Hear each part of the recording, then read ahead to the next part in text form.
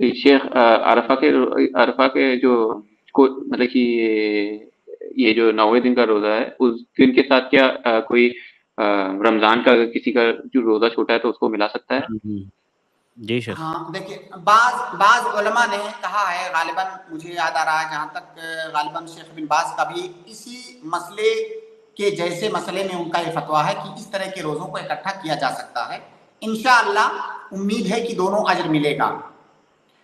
तो देखिए अजर का मामला अल्लाह रब्बुल आलमीन पर है। तो हमें अल्लाह रब्बुल आलमीन से तो रखनी चाहिए कि उसका अजर मिलेगा।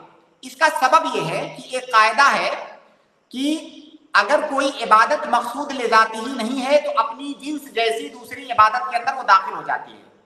तो योम अरफा का जो रोजा है वो मकसूद ले जाती ही नहीं है। वो अरफा के सबब से वो रोजा हम रखते हैं उस दिन वरना नहीं रखते। और जो कजा वाला रो, रोजा है वो ले जाती है, उसको कभी ना कभी आपको रखना ही है। तो इसलिए अरफा का रोजा उसके अंदर दाखिल हो सकता है, वल्लाह आलम। लेकिन मैं कहता हूँ कि ज़्यादा बेहतर ये है, ज़्यादा बेहतर। ये मैं फतवा नहीं, ये मशवरा है। ज़्यादा बेहतर ये है कि आप दोनों को अलग अलग रखो, ताकि दो दिन आपको रोजा रखने का मौका मिले। कजा का रोजा एक दिन रखो, एक अरफा का रोजा मुस्तकिल रखो। तो इस तरह से दो रोज़े आप रख पाओगे। जी शेख। लेकिन तो एक ही रोज़े की शेख वो करे, करेगा ना? जी शेख। नियत तो वो एक ही रोज़े की करेगा ना शेख?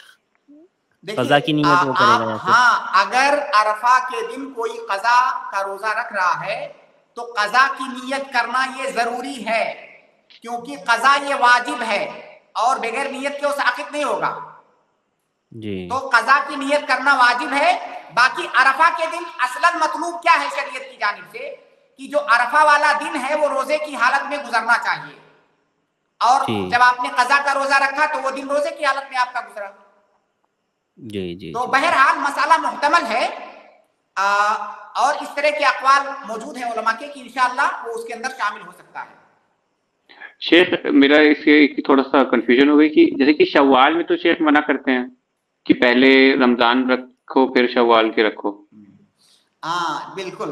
वो मना इसलिए करते हैं अभी मैंने आपको एक कायदा बताया शरीयत का कि इदजमात इबादतान मिन जिनसिन वाहिदिन वलम यकुन कुल्लु वाहिदिन मिनहुमा मकसूदन लिजातिही औ तबअन लिगैरिही इज्तमात और तदाखलत।